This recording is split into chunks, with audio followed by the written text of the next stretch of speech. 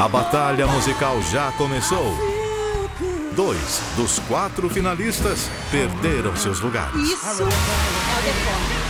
E agora, um novo time está formado. Aqui acontecem coisas inesperadas, inusitadas. Eles vão ter que lutar para defender suas cadeiras. A escolha do repertório é o pontapé inicial. Porque os novos desafiantes estão chegando.